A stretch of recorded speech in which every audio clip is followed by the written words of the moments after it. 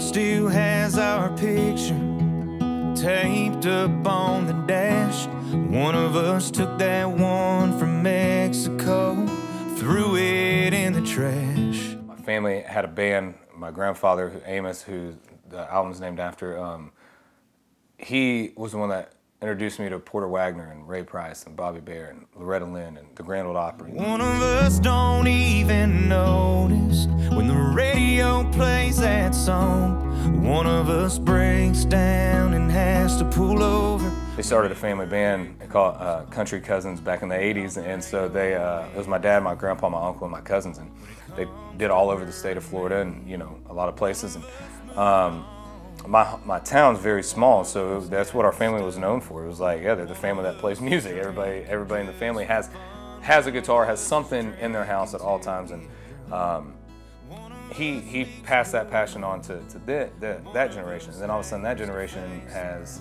us, you know, the grandkids that are coming out. Just depends if you're talking about her world or mine. So I was always with them and, and their shows, and I was always the kid standing on stage and playing a little fake guitar. And he, um, you know, we, we always had that close bond that a grandson and a, and a grandfather have.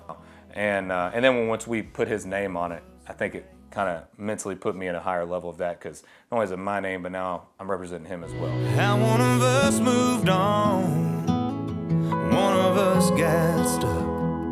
One of us is drinking just for fun, one of us is drinking to get drunk.